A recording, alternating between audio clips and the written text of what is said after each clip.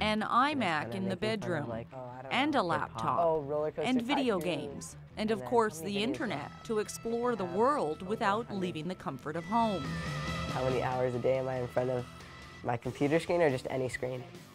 Oh, uh, probably at least six hours.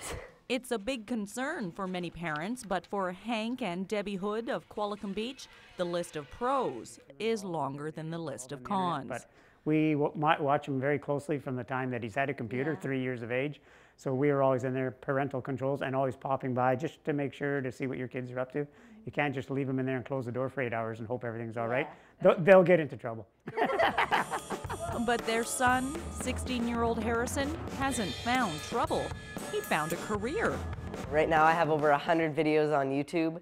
I have Finding Stuff Out, which is a kids TV series. I have done Diary of a Wimpy Kid a couple years ago. I've been on Untold Stories of the ER, and I've done a Nickelodeon uh, movie that was on TV called uh, A Fairly Odd Movie, and it was the live action version of their uh, animated series. Harrison has more than a million hits on his YouTube channel. Here at Shaw TV, Central Vancouver Island, we're still looking to break that half a million mark. So this is like what I mainly use here. I shoot a lot of it myself with either a tripod or something, but when I do need somebody, I always like recruit my friends or I, I try to get my mom to film, which actually can be a really big pain sometimes because I have to make sure she gets the shot that I want and stuff if she's with me. And yeah, so I try to get my friends to do it if I can, but sometimes they're all busy doing other things and Why don't you think your mom can get the shot for you? I don't know, technology and parents.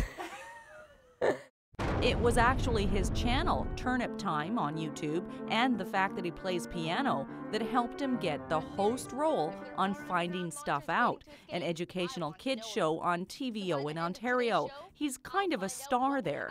We figured he could handle doing the camera on this shoot. Okay, Parents are ruling. parents, Hey, the I- I parental just unit, so action. I don't know who's having more fun, me or Harrison. I think the show's like the Finding Stuff Out show's been a really good opportunity for him and me because he, he's done more in two summers than some kids do over a lifetime. Like I said, he got to do hot air balloon rides. They made him into an old man. He just gets to see a lot of different things. So not only like is he working, he's learning too. So it's, we're both learning stuff that we never knew before. So it's kind of like educational. Well, it's educational programming, so that's actually a plus, right? Harrison begged his parents for acting lessons when he was eight. By the time he was 10, his parents were taking him over to Vancouver once a week for classes.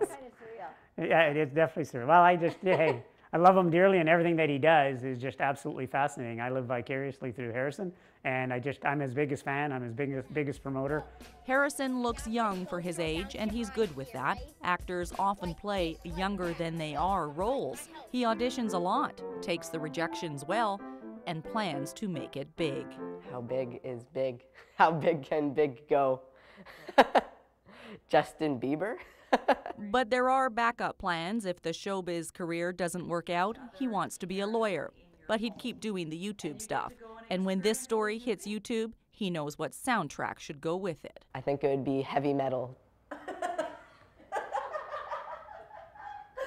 Definitely, like, like just head head banging heavy metal, for sure. Season two of Finding Stuff Out airs later this year on TVO Kids in Toronto and in other international markets. And who knows, maybe having Harrison Houde on our YouTube channel will help push us past the 1 million hits mark. In Qualicum Beach, I'm Kate Bergen.